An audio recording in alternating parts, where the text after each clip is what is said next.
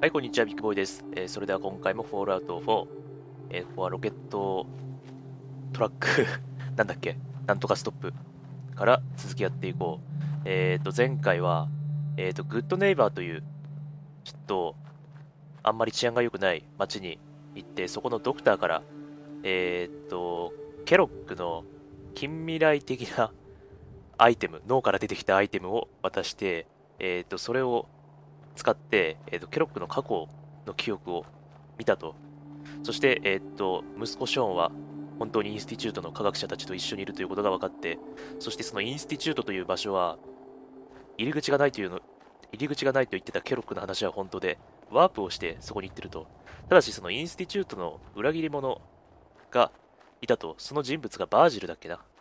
そのバージルって人が、かなり下降線、下降線というか放射能汚染されている場所に潜んでいるとのことなので、そこを目指して行く必要があるクエスト。えー、っと、これだ。ザ・グロイング・シー。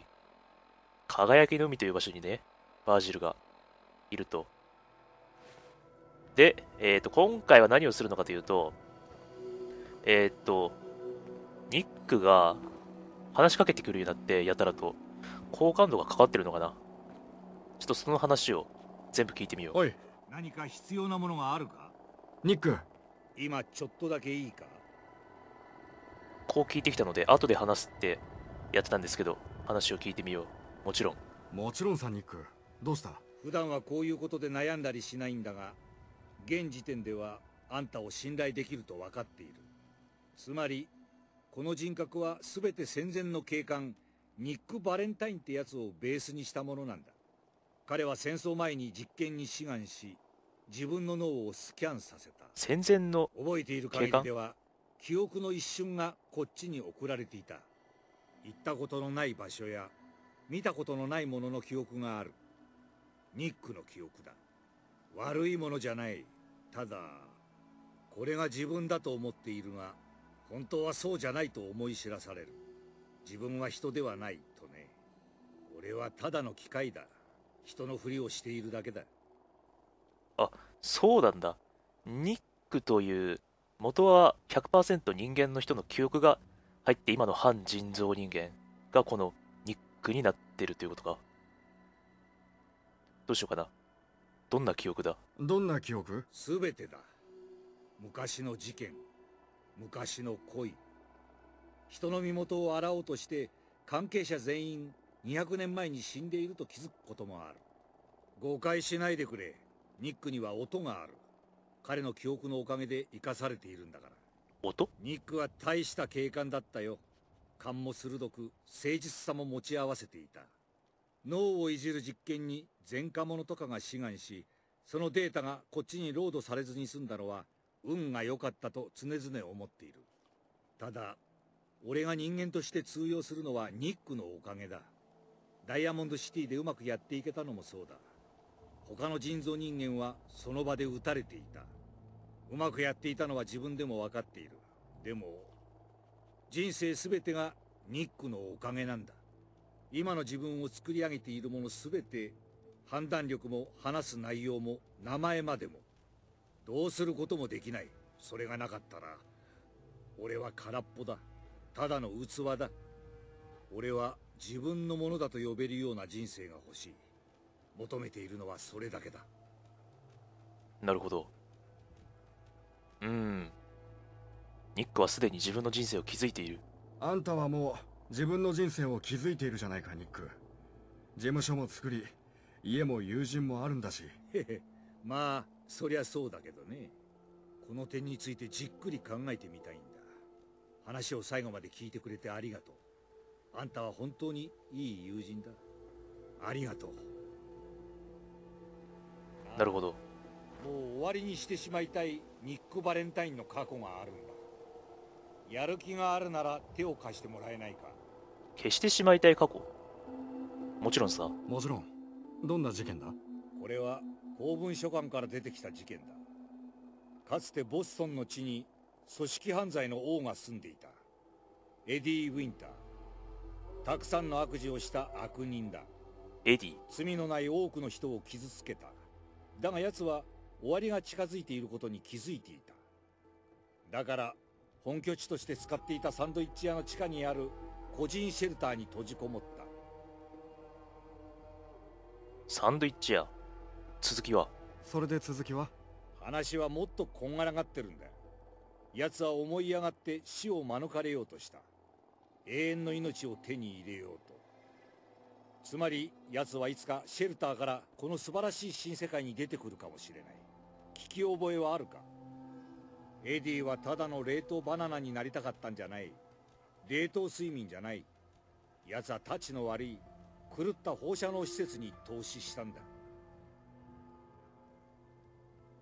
まさか。ニックまさかとは思うが。ああもちろんそれを言おうとしたんだエディ・ウィンターは自らグールになった。グールになった。200年前はファッショナブルなことだったんだ。そう奴はおそらく最初の一人だ。で奴はまだ例のシェルターの中に閉じこもっていると思われる。未だ無事に。地上に出た時に悪の時代を再び築き上げる準備をしているんだろう。それを防ぐために奴を見つけて殺すつもりだ。手伝ってもらえないかもちろん手伝いたいけど黄色の選択肢があるぞ。なぜこんなことを？できないニック。あできない？まだ生きてるとしてもなぜエディ・ウィンターを殺す？ただの復讐としか思えない。記憶がある。あ。女の子。成功。彼女だった。本当は自分の記憶じゃないって分かってる。これはニックのだ。けどその女の子は本当にいたんだ。美しくて純真な子だった。ああなるほど。ウィンターが殺した。そういうことか。今はその対価を払う時だ。分かっただろう。協力してくれるか？元の人間ニックの恋人を殺したのがエイディだからそれの弔いをしてあげようと。やってあげよう固定分かったニック。悪者を倒そう。いいやつだな。さてウィンターのボルトがどこにあるかはわかる。けれどもドアは複雑な暗証番号で封印されている。運がいいことにウィンターの傲慢さはとどまるところを知らない。昔奴は10本のホロテープを作った。いろいろな犯罪組織に罪を着せるものだ。それぞれに一つずつ番号が隠されてる。全てのホロテープを見つければ全ての番号が手に入る。全ての番号が手に入れば暗証番号が手に入る。それでウィンターを倒せる。ここ最近この件についてファイルをまとめていたんだ。聞く価値があるホロテープが2本ある。2本すでにあ一るつはウィンターのものでフェラルでいっぱいになる前にケンブリッジ警察から何とか持ち出したものだ。ボストン市警察の証拠端末が暗号を解く鍵だと直感が告げている。警察署を見つけたら訪れる価値はあるだろう。警察署かさあニックのクエストが始まったな。かニック・バレンタインっていうのは元は100%人間の人だったといろいろ分かっちゃったな。 Long Time Coming。エディ・ウィンターのホロテープを見つける。ってことは連邦全体をホロテープ探しに冒険か。ここ。こっちにもある。さあじゃあやっていこうか。警察署がどうたらこうたらって言ったけどケンブリッジに特に目的地表示じゃない。ホロテープもらったな。ホロテープホロテープ。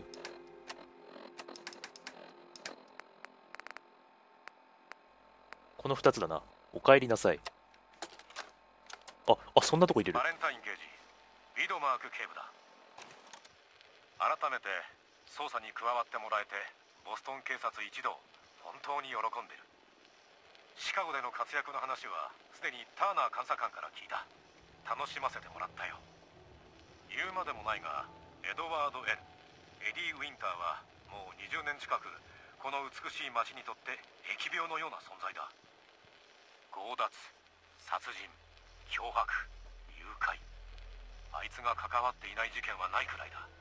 冷血で狡猾で捉えどころのない典型的な暗黒街のボスだ。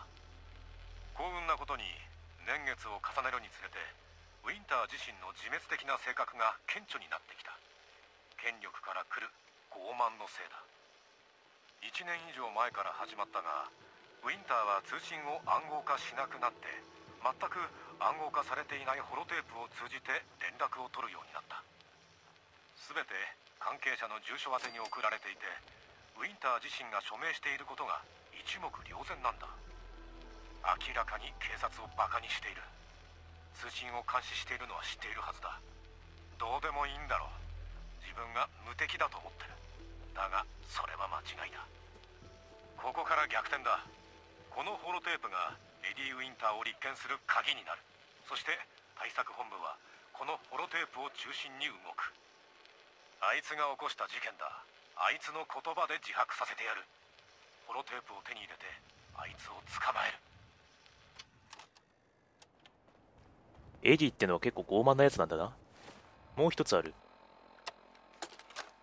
こっち本人のホロテープか。エディだ。ジョニージョニージョニー。デブで怠け者を役立たず。分かっていた。分かっていたぞ。この取り決めは話がうますぎるってな。ノースエンドと協力しよう。喧嘩をやめて共通の敵相手に協力しよう。だと？やれやれ。お前のせいで台無しだ。何をやらないといけなかったんだ？ジョニー。お前の仕事は車に座って角で待つ。見張る。制服を着てるやつが来たら車から出る。道を歩いてドアを叩いて仲間にトラブルが発生したと知らせる。簡単だろ9歳の子供にでも任せることもできたんだが。でもそうしなかった。アイルランド人とイタリア人の関係のためにお前を選んだ。それでどうなった？何も？何も起こらなかった。でかいケツの上に座ってその二重顎に菓子のクリームを垂らしてただけだ。見てただけだ。2ヶ月の計画が2分間で台無しになるのをただ見てただけだ。おめでとうジョニー。やられたよ。お前らのせいでこのエディ・ウィンターはめちゃくちゃだ。子供を寝かしつけるときにこの笑い話をしてやればいい。あのプリンスストリートの小さな家の2階のピンクの壁紙の角の寝室でな。えー。プリンスストリート。以上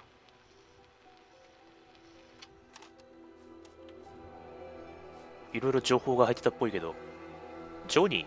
ジョニーって誰だ？あのよくうんこ漏らすやつかな？違うな。えっとそれじゃあここ行ってみようか。じゃあボルト7号にファストトラベルで。さあファストトラベルして霧すごいな。もう近いな。えっ、と近接武器近接武器を強化してん？あれ違う。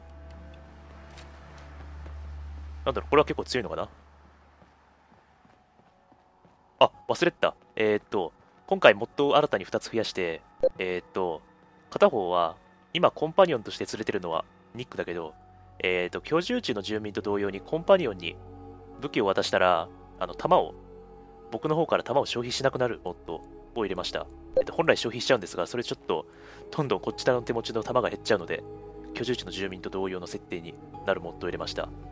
で、もう一つは、えーっと、拠点が襲撃された時に、あの、ダイアログメッセージがしっかりと表示されるようになるモッドを入れました。ただこれまだ一回も表示されたことないので、実際はよくわかんないです。こんなところかな？で、敵がいるな？犬？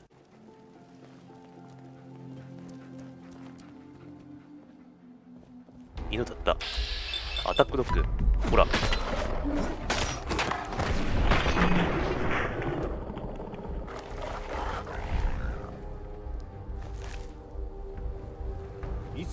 おとなしくなったえー、っと、ホロテープ。あ、そっちか。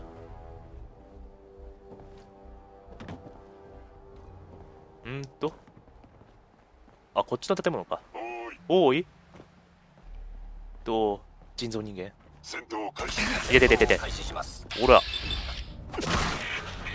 じゃあ、銃なんかには、屈しない。まだいる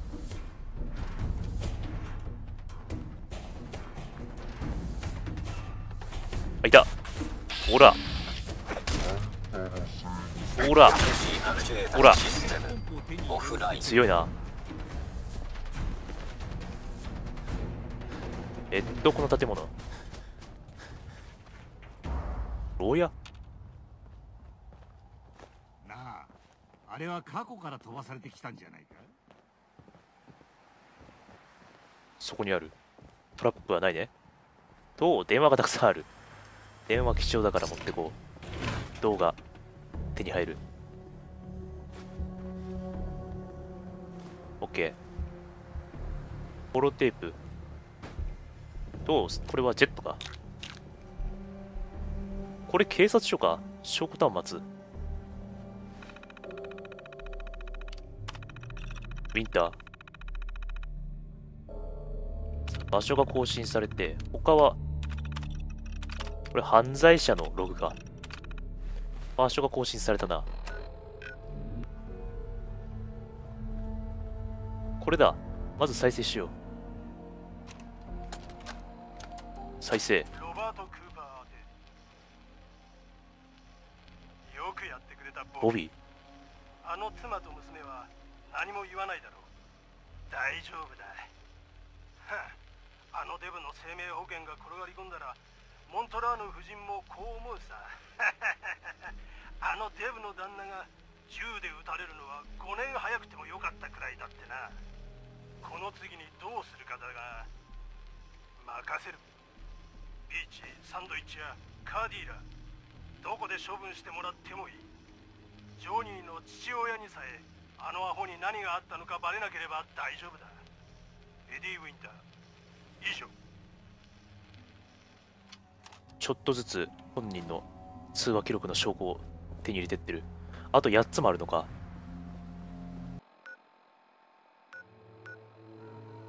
ここか。ナハント保安局。行ったことない場所だな。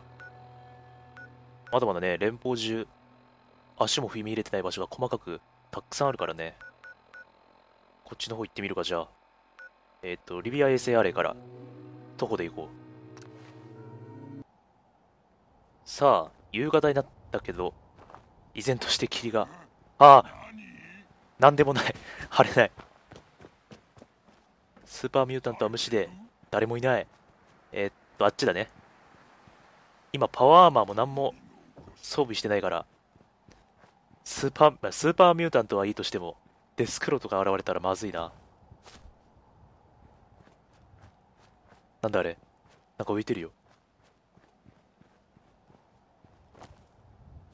えっと、こう目指していこう。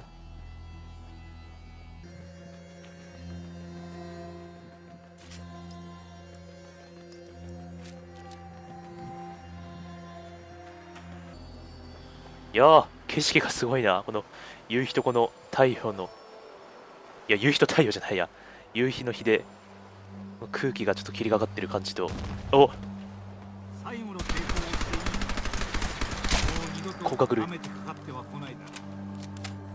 ソフトジェルマイアラーク。えっと。道なりに行くか。イプソンポイント。ギブソンポイント。あ硬い。硬い硬い硬い。あー近い近い近い。危ない危ない。おっとこれは。ベルチバードがあそっちで戦ってる。おおニック。ニックにもレーザー銃を持たしてる。オッケー。ベルチバードがね至る所に出現するようになったんだよな。なかなかうるさいよ、あだけどヌカランチャーで落とすわけにもいかないから。しゃあないあれ？どうしたニック？なんかいる？ニック？ニック何もいないぞ。ニックちょっと。おい。行くぞ。あれ？この橋。まさか渡れない。渡れない。渡れないのか。ちょっと汚染食らうけど車内。泳いで泳いで。OK まあニックはそのうちワープしてくるかな？ん？なんだ？あ BOS だ。地上部隊もね連邦各地に現れるようになったんだよな。あっちか。ああとはこのまま。道なりだ。ニックがいない。ニックどこ行った？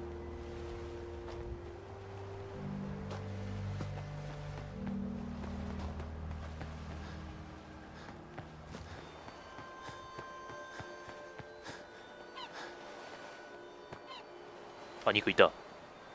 カモメか。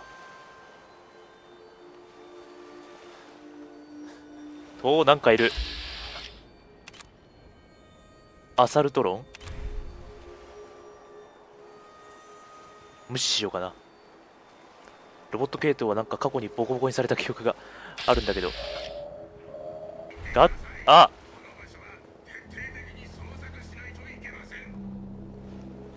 いや、デンジャーじゃないからまだ。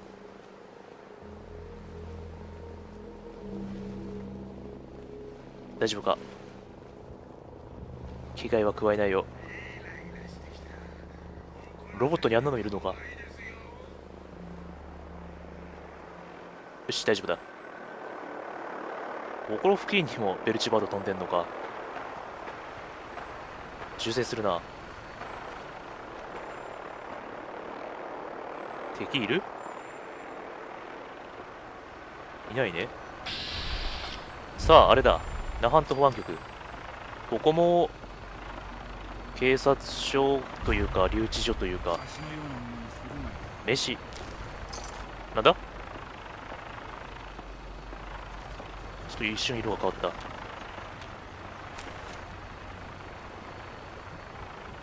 上の階。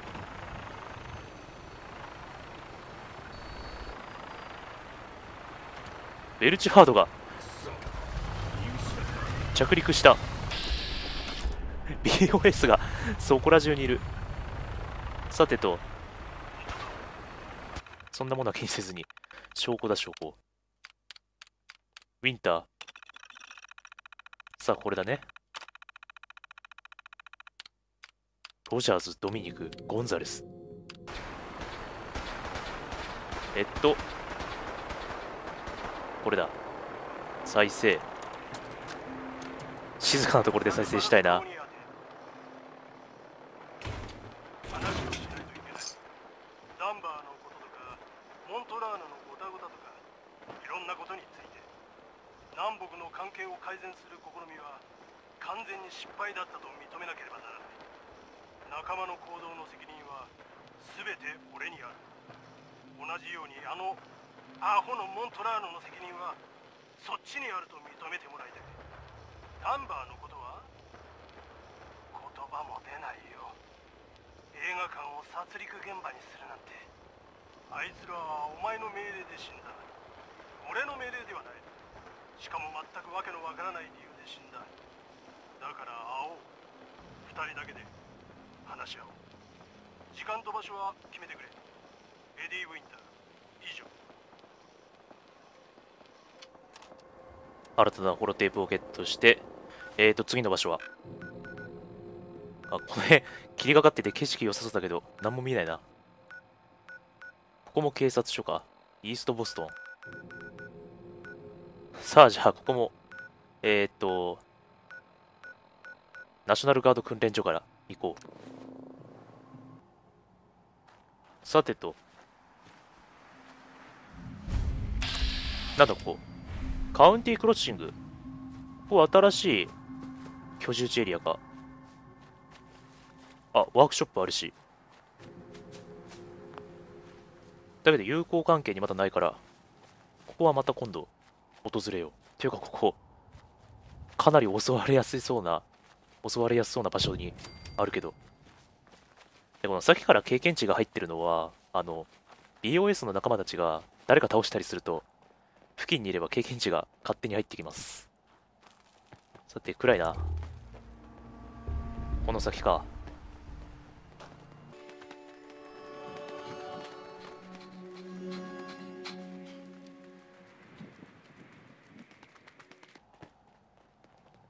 明るいな。何もいない？やたらに明るい。何もいないといいんだけど。イーストボストン。なんだろうな、これ。プレップスクール。学校か。えー、っと、警察署はこっち。もう当たり前のことだけど、どの町に行っても、ある程度の建物はあるけど、ここは、ついには水浸しになってる。どこもかしこも瓦礫だらけ。さあ、これだ。えー、っと、ウィンターあった。そして、えー、っと、ホロテープ。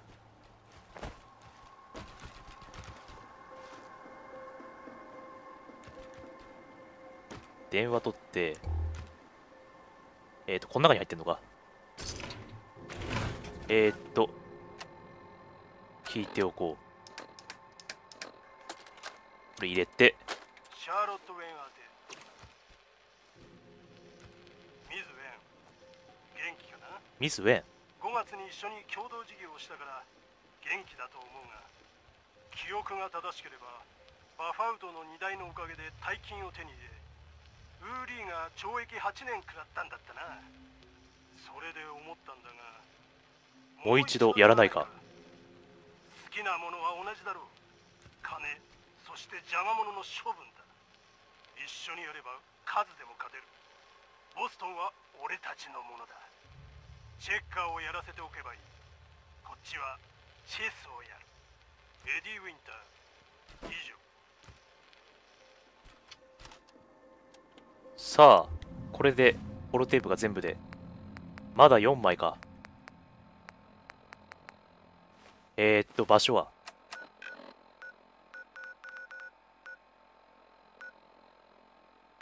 ここだね。ここはまた警察署とかじゃなくて、どうなんだろう？あ、でもこっちもある。じゃあ今回はここまでにしようかな。とりあえず、その AD という人物をニックのためにもニックというか今のニックのためにでもあり、あと以前人間だったニックのためでもあるけど、倒さないといけないから、もうちょっとホルデープ集めをして、エイディの場所を突き止めて倒そう。それでは、えっと、今回はここまでで。はい、ご視聴ありがとうございました。